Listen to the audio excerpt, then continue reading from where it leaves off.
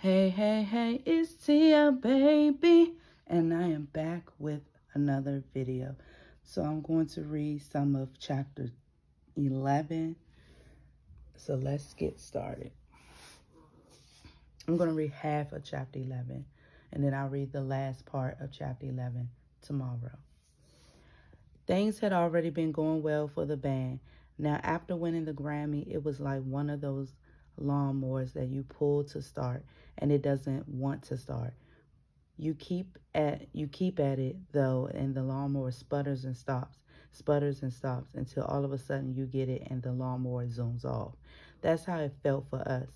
There was always something that needed to be done and that thing would be linked to something else which was linked again to another thing we were asked to do.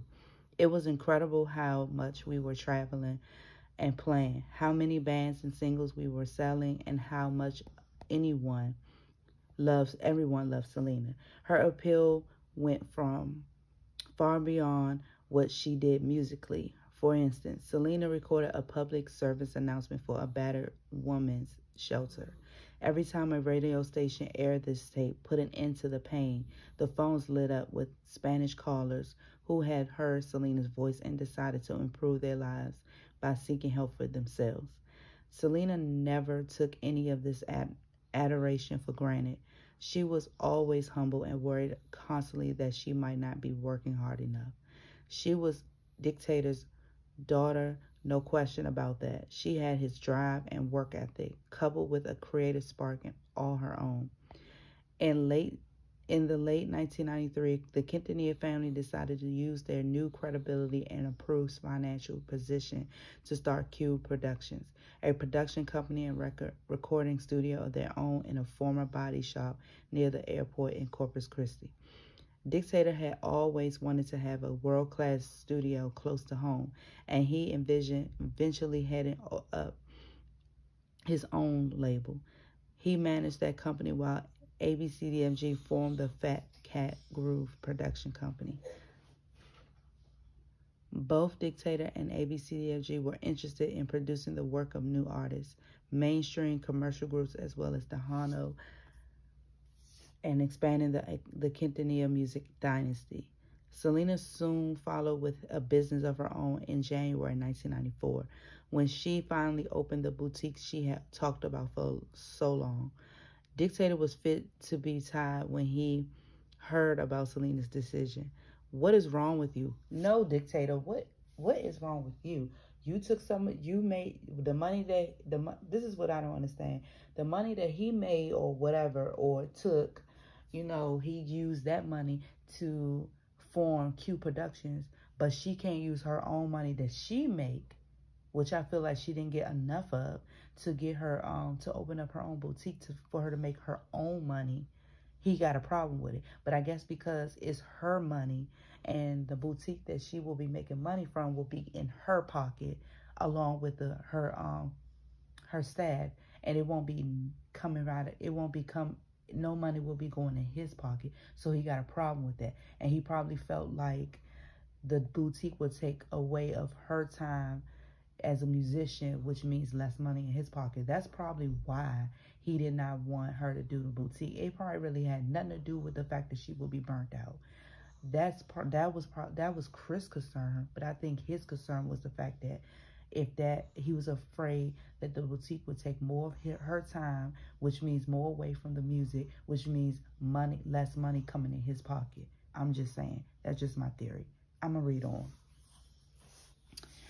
shaking his head. How could you even think about opening another business? Do you know how much time that will take and how much harder you, you're making your life? Why don't you just enjoy the money you're making? Selena told, held firm. It's what I want to do, Dad, she said, and it's my life. Still not willing to give up on dis- dissuading his daughter. Dictator pulled me aside next. You can't let her do this he said desperately. She'll burn herself out.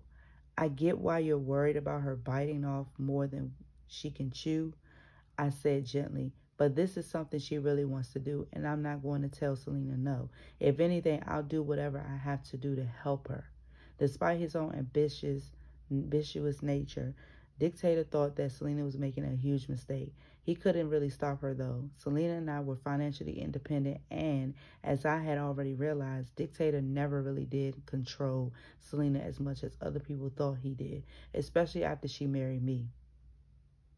Boom.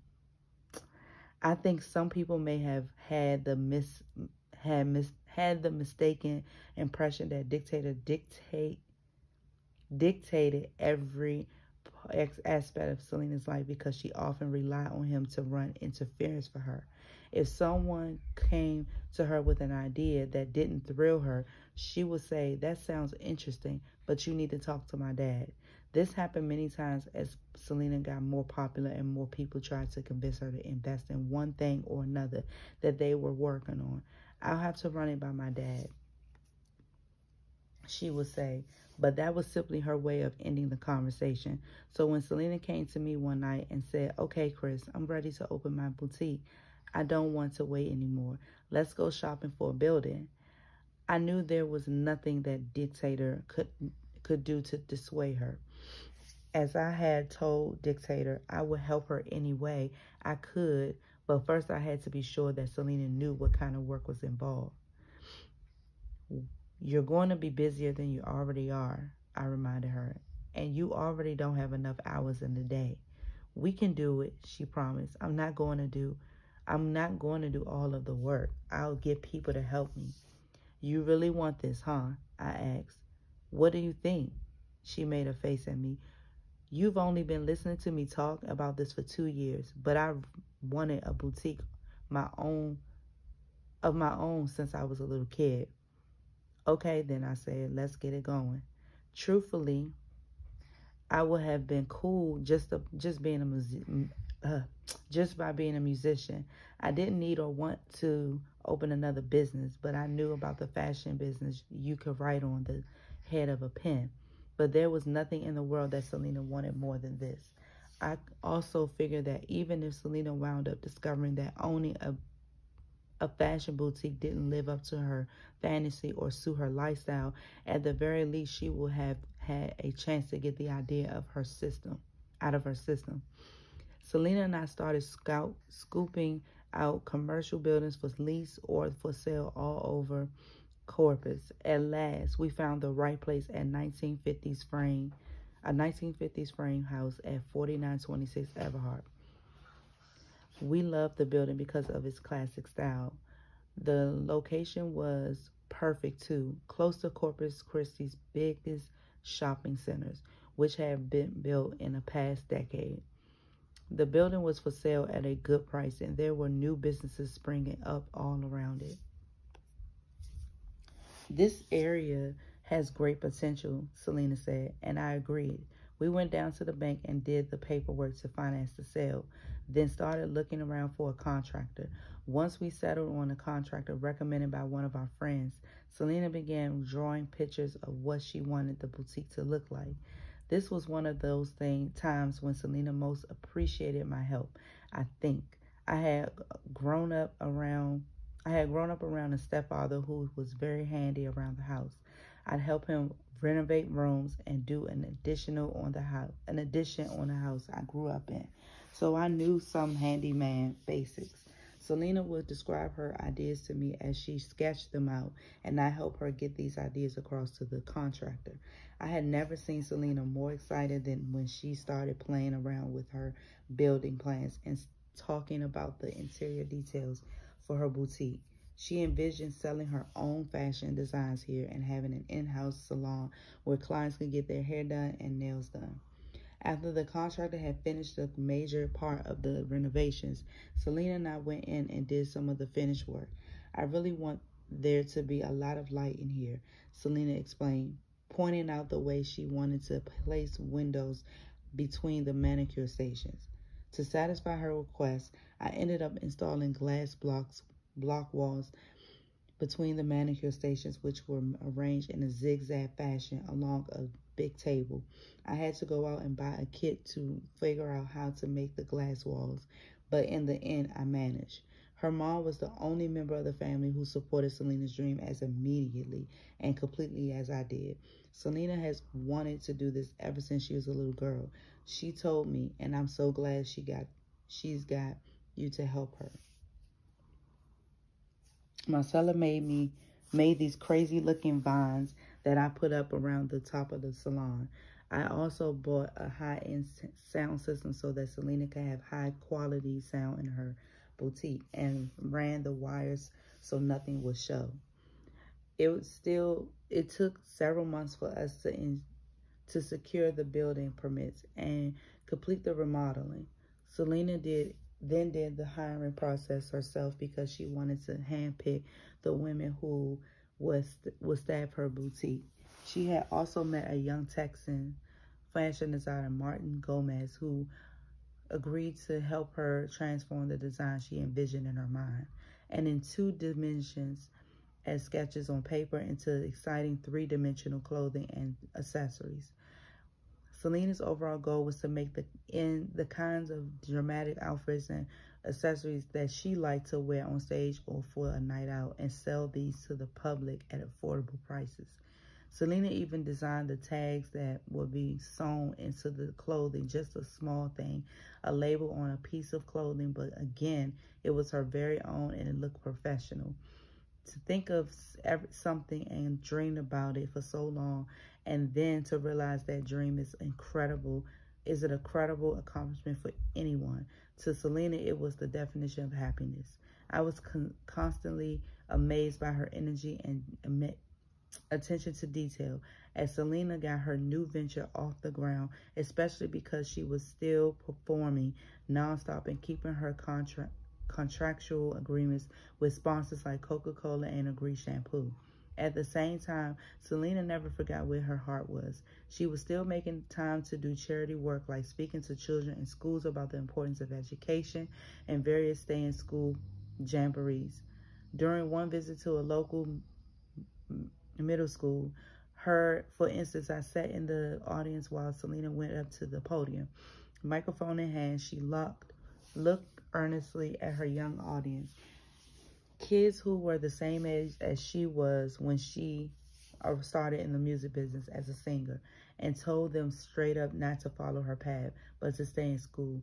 Music isn't a very stable business, she said. It comes and goes, and so does money, but your education stays with you. If you have a dream, Selena added, don't ever let anyone take that away from you.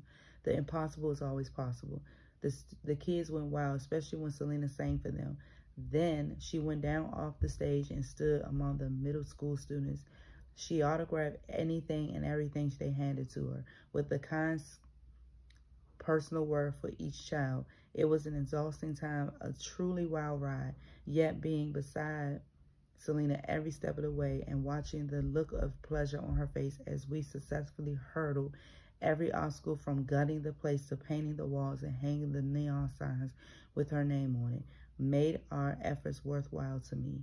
Together with hard work and determination, we brought her dream to life. It looks awesome, I said, putting my arm around Selena's waist as we gazed up at the newly hung neon sign with her with her Selena, etc. logo. Man, you're really doing this. It really is it's really happening. Thank you, Chris, she said, putting her head head on my shoulder and gazing happily up at the names and headlights. After Selena had opened at the boutique in Corpus, she decided that it would make sense to have a second salon and shop in San Antonio, the other city where we spend most of our time and where she had another great fan base. In addition, my sister and other friends of ours would be able to staff the San Antonio boutique. About eight months after we opened the Corpus boutique, Selena op opened the second one on Broadway in San, San Antonio. Coincidentally, about a block and a half from the apartment where I had lived with my dad while Selena and I were dating. Because we were also busy, already so busy, this venture were more, was more businesslike than a labor of love. We hired people to complete the work we needed done inside and out, rather than trying to take that on ourselves. At the same time that Selena's boutiques began gaining traction, her career as an entertainer was moving at an even faster clip. She was busier than ever in 1994. Now her obligations include making music videos, the new industry standard, as well as recording vocals. The For instance, the music video for La Llamada, one of Selena's biggest hits from the Selena Live album, was shot on the rooftop of a beach house in Malibu, California, which meant that we all had to fly out there for two days. Many of the scenes in the video are, are of Selena singing with a crowd of people dancing around, he, dancing around her as if she's a big party. Shooting them was fairly um, uneventful. We had to spend a day playing through the songs over and over again, and then Los Dinos got to leave. Selena, however, had to stay for several hours because they were also shooting for her singing the song Against a Blue Curtain. At one point, I went back up to the roof to see how she was doing. I was worried because the sun was going down. The darker it got, the colder and the windier it got. And Selena was wearing only a slim-fitting black dress that couldn't be very warm. I found her with a blanket around her shoulders between shots. Still, Selena's teeth were starting to chatter and she was shivering. I put my arms around her, rubbing her shoulders to get warm up a little bit. How you doing? I asked. I'm freezing, she said. Yeah, I can tell. I don't think we have any jackets. I know. She said, I know, she said miserably. Want me to stay up here with you? No, no, I'm almost done, she said. Let me get you some coffee at least, I said, and went off to find one of the assistants. They started shooting the video again as I made my way down from the roof. When I turned to watch, I saw that the blanket had come off Selena's shoulders and she, as she sung her heart out, she looked totally happy and warm. Selena was a natural actress who was professional enough to slip into a new mood as easily as most people put on a new outfit having so many obligations like that pulling at her made, Selena depending more on Oompa. Oompa had done nothing to cause us to mistrust her at this point. In fact, in her unpaid position as, as Selena's San Antonio's fan club president, Oompa had worked hard to impress everyone in the family with her work ethic and commitment to Selena and the Quintanilla family. Had even moved to Corpus Christi in 1993 and rented an apartment with a roommate in order to live closer to the Quintanillas. Little did we know that her roommate had moved out within a few months as Oompa proceeded to turn the apartment to a shrine to Selena. All I saw was that Oompa had become a close friend to both Suzette and Selena. She also has become Selena's personal assistant, doing everything from helping her out with costume changes backstage to running interference between Selena and overzealous fans. The more the more trustworthy Oompa seemed, the more trusting we all were with her. It was only natural then for Selena to offer Oompa an official paid position as a manager who would oversee being both the clothing boutique in Corpus and the store in San Antonio. The stores had local managers on site. In fact, my sister Trisha was managing the San Antonio boutique. But if I can't be there to do something, I'll feel better knowing that Oompa will take care of it, Selena told me. I agree with her decision. Selena was trying to juggle too much in her life, and Oompa had proven her loyalty. Dictator, too, thought that the idea made sense. He was relieved to have any amount of stress lifted off his daughter's shoulders. Uma was put on a salary and Selena gave her a credit card and a cell phone she could use for her business purposes. The more support Selena got for her new venture, the better, I thought. I was already out of my depth with the business and I was wanting my wife to be happy. Everything went smoothly at first. If something needed to be done at, at one, one of the boutiques, Oompa would either handle it or call us while we were on the road. Or if Selena was in Corpus, Oompa would help with her calendar. She seemed to diminish the intense pressure that Selena had been feeling since opening the boutiques, and for that, we are all grateful. As the months went by, Selena increasingly relied on Oompa for assistance, especially once she started thinking seriously about opening a third boutique where most of her fan base was in Monterrey, Mexico. We didn't know anything about managing a business. Oompa didn't either, but she acted like she knew, and we started leaning on her more and more. We were eager to be dependent of Dictator and eager to, and besides, Oompa had personal connections in Monterrey and was always willing to drive down there with Selena to explore business prospects. I didn't really see Oompa much, but if I happened to drop Selena off at the boutique in Corpus for her to get her hair and nails done, I chat with Oompa for a few minutes. That was pretty much the extent of my interactions with her. Other than occasional lunches with Oompa and Selena, where they would talk about business or people they knew and I crack a joke here and there, I never saw Oompa as a threat. She was like all the other girls in high school, and I used to feel sorry because they seemed to have no lives of their own. There was no reason to ever suspect that she was dangerous. In a weird way, I think all of us were probably even more accepting of her than we might have been if if Oompa had been another kind of woman, pretty or ambitious or clever, because we were so determined to judge her, not by her looks or talents, but by where her heart was. I will regret every day I lived that I was so blind. In my defense, I was young, I was in love, I had friends and a wife I adored. I was making music in a band that was increasingly successful, and I was making plenty of money. The way I saw things, Selena and I had a bright future ahead of us. My main concern was that Selena was happy as I was, and that seemed to be true. There was just one small thing, looking back on it, probably should have been a red flag. It happened at one of our annual band parties. Soon after I became involved with Selena, Oompa started arranging annual parties for the band members, their families, and close friends every year. Selena and I loved those parties. We thought it was cool to hang out in, in a restaurant or some other regular place with everybody together.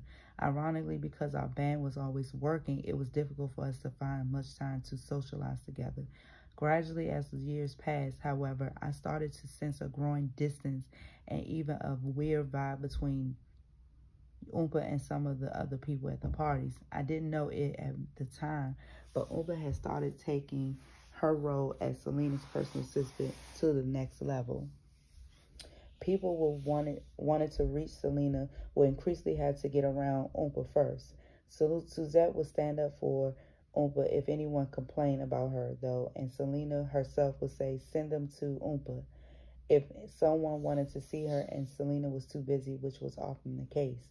Anytime, anyway, at one of the, these part, band parties, the restaurant bathroom was vandalized, and Selena had heard from Oompa that I had been involved in involved in it with other guys. Remember the way I had gotten drunk and trashed the hotel room the year before our marriage? No doubt made Selena even more suspicious. Did you trash that bathroom, Chris? She asked. Oompa said you did. No, I said. You know I couldn't have done that. Selena, you know where I was. We were together the whole time. Oh, okay, Selena said, and we moved on to talk about something else. The conversation didn't really register with me at the time because of the band's success. Selena and I were always swatting away silly rumors. Maybe that's why I didn't see this conversation for what it really was a warning sign that Oompa was trying to come between Selena and me, the way that she was trying to make sure that Selena didn't get too close to anyone else. Despite Oompa's attempts to make trouble between us and increase pressure that came with being successful, Selena and I were more in love than ever. We worked as a team, whether we were taking care of the dogs or our house. In everything we did, I tried to follow the advice of a friend gave me before I got married. I don't think relationship a relationship can ever work if each person gives just 50%. That is true. Each person should be given 100%. He has said, not, why not? I said, puzzled. That sounds fair to me. He shook his head. No, the real way to think about marriage is that you have to each give 100%. Selena and I both gave 100% to each other. We never kept score the way some couples we knew did. And with uh, you did that, so I'm going to do this, kind of tally. We had no pet peeves with each other. We were best friends.